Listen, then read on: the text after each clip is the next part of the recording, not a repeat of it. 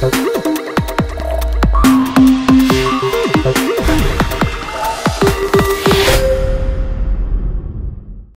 students, uh, Mr. Sadler here. I am just outside of Copper Harbor, Michigan, which is on the Kinawa Peninsula, something like that.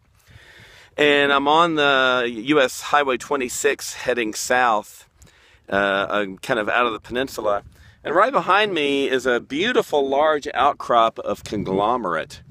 And this conglomerate, you can uh, very uh, easily tell that this is conglomerate because you can see, uh, clearly see the big rounded boulders and pebbles, not really boulders, but pebbles and cobbles here in the outcrop.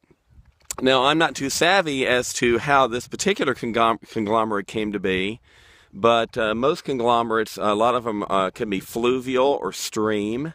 Um, but this one could uh, have formed under a different process. So anyway, uh, if I'm going to stand up and kind of pan this way, maybe you can see the uh, at least a small portion of this outcrop. This is a really an enormous feature, and it's right here on uh, Lake Michigan.